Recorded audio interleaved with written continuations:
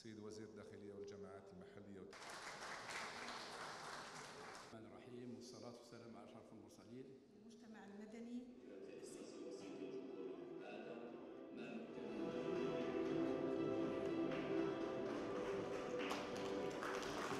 التزم السيد الرئيس كما ورد في كلمته بقوله إن مختلف الورشات التي فتحتها هيئة وسيط الجمهورية بمعية قطاعنا الوزاري ومختلف الشركاء انطلاقا من المراجعة التامة لآليات التكفل بعرائض المواطنين وصولا إلى السجل الإلكتروني للشكاوي ومنصة التنسيق الرقمية لمعالجة العرائض وتبادل المراسلات سمحت في كل مرة بتأكيد العزم العميق على إرساء تقاليد جديدة للعمل الإداري.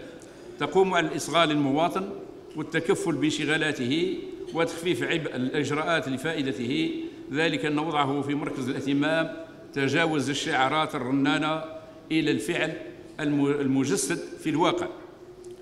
كما شهدت هذه الورشات تسارعا خلال الفترة الأخيرة سيما بإدراج السبيل التكنولوجي في إطار استراتيجية وطنية أسس معالمها السيد رئيس الجمهورية لتعميم الرقمنة وعصرنة مختلف الأدوات والإجراءات.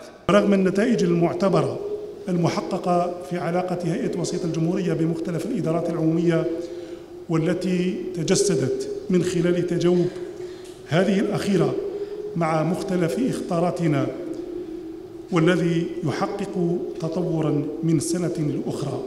فإن جوهر النقاش والتشاور بين مختلف الفاعلين المعنيين خلال هذه اللقاءات الجهوية تمحور أساسا حول السبل الكفيلة بتقديم خدمة عمومية ترقى إلى مستوى تطلعات المواطن التي مفتئ أن يرتفع سقفها مسايرة لتطور استخدام تكنولوجيات الإعلام والاتصال.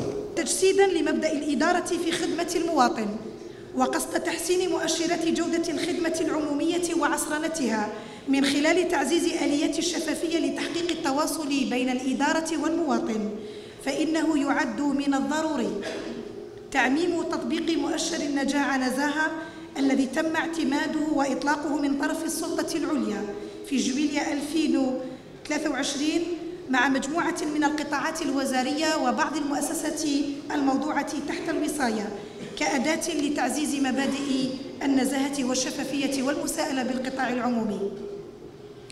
كما يتعين دعم الإدارات العمومية بأنظمة المراقبة الداخلية وأنظمة المتابعة والتقييم للنشاط الإداري مع ضرورة نشر التقارير الدورية المبنية على مؤشرات قابلة للقياس.